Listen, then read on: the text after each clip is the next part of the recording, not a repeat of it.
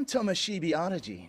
I play bass in a band, but it's just something I do for fun. wow, this guy is really right fucking if you wanna annoying. So, He's just like a real bassist. Hi everyone, welcome to or back to my channel. My name is Bizaster, and for the, at the time of writing this script, past few days, I've been watching Bucchigiri, a new anime that's been airing.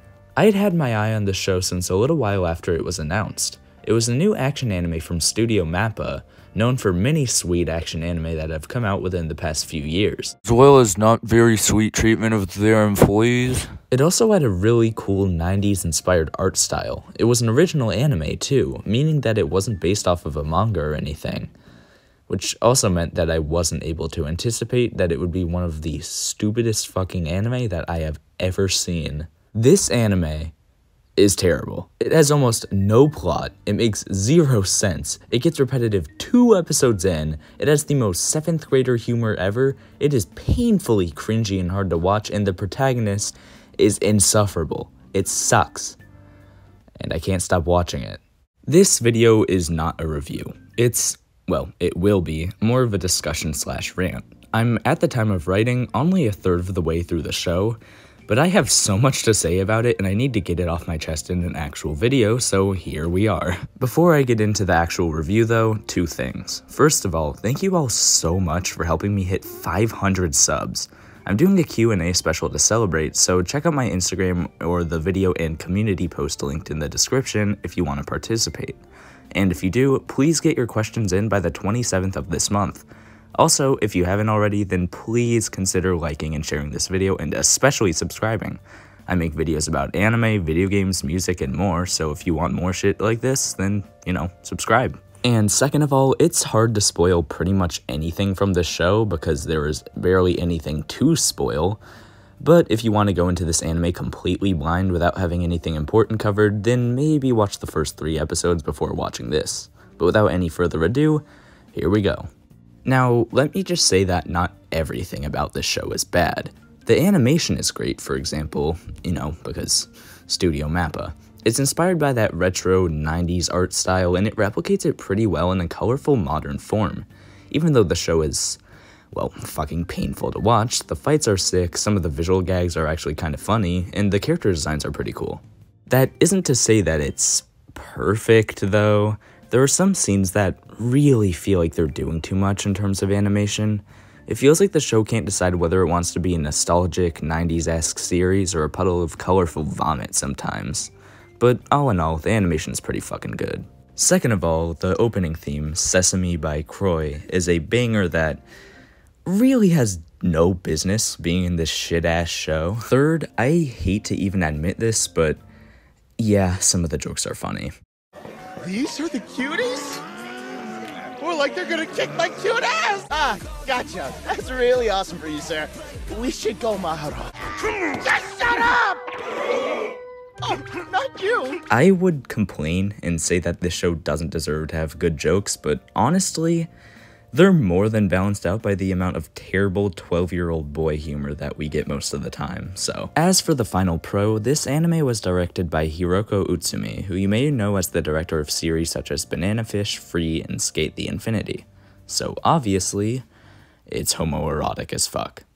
He's brave and super cool. Honestly, I admire him. I've been dying to kick your pretty little teeth in. What, you got a crush on the guy? Yeah, give me. I love it. And I would love it more if it weren't for the fucking protagonist. More on him later. That's it for the pros though, so it's time to get into the cons. And the first major issue with this show is that it doesn't have a fucking plot. I am barely joking. Nothing in this story is done to flesh out the characters, give them sufficient backstories, explain why everyone at the school is a gang member, even advance anything, and uh Oh, right, I should probably explain the show a little. Bucchigiri set in a school where everyone, literally everyone, is either a delinquent, a full on gang member, or an associate of either group. And why is that? What led to this? Who fucking knows? This show sure doesn't. Anyways, our protagonist, Arajin Tomoshibi, joins the fray, and after a series of stupid fucking decisions, he ends up having to decide between joining two gangs one that his childhood friend, who's gay as hell, belongs to and wants him to join, and the other that the girl he likes wants him to join. Wow, this is a really cool premise. Uh, thank you, sir. So, what's your plan for developing the rest of the pl- No. Aside from Arajin's whole joining a gang thing, there's practically zero semblance of a story. It is just fights. Now, granted, these fights are pretty entertaining fights, but they are the entire fucking show. The first two episodes of the series are technically different. They're animated differently from each other, they have different scripts, and they feature different characters.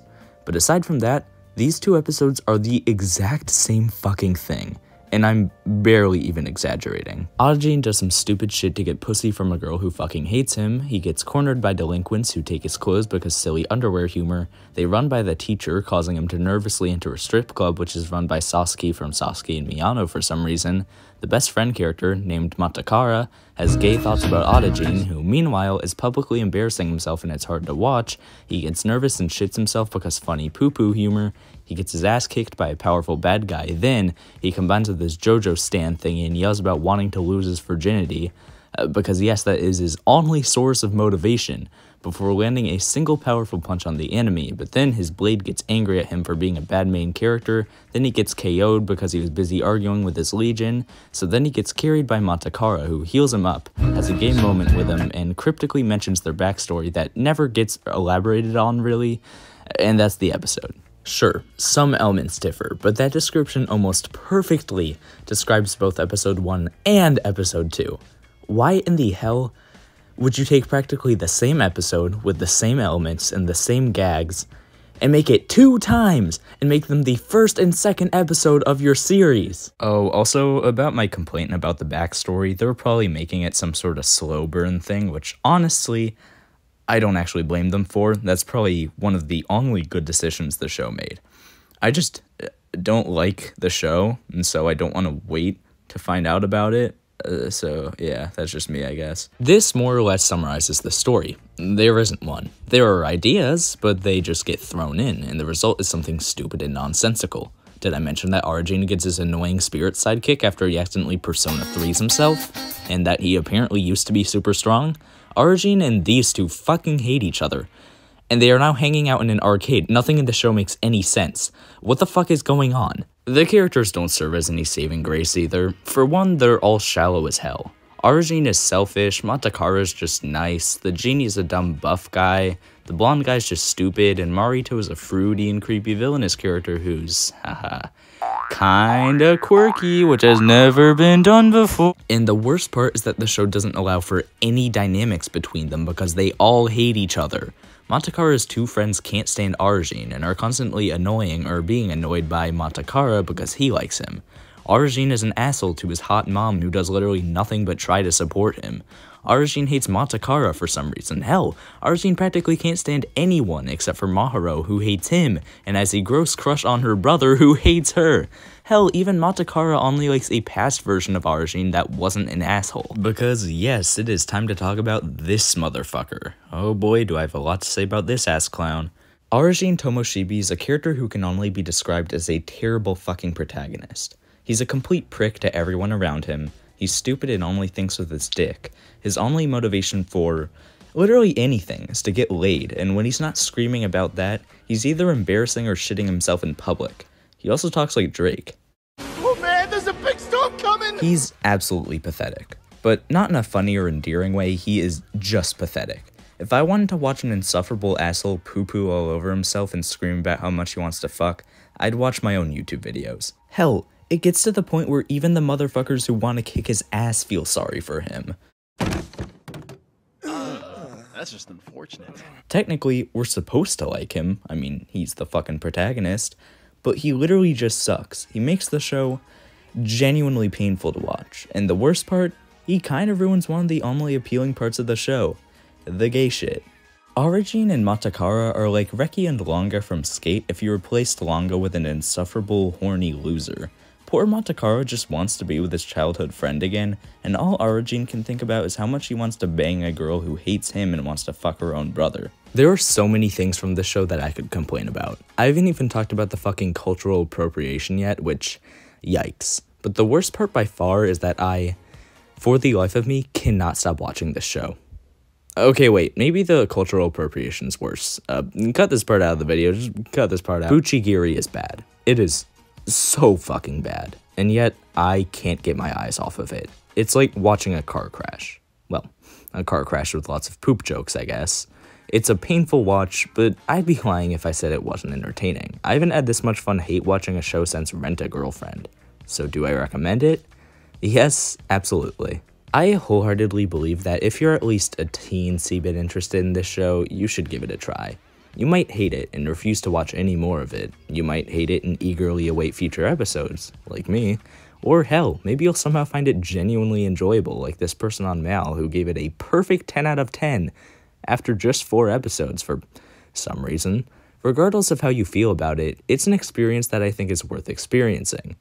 And unless you don't want to watch shows that you don't like on purpose, because please, for the love of God, save your brain cells. Please. But yeah, that's pretty much all I had to say about Bucchigiri, which, as long as I don't come to my senses and decide to drop it, we'll probably do a full review of at some point. I hope you found this video at least a little funny and enjoyable, and if you did, please consider subscribing, liking, and all that shit. If you guys can help me get to 1k by the end of the year, I'll be so grateful. I hope to see you in the next one, but until then, bye.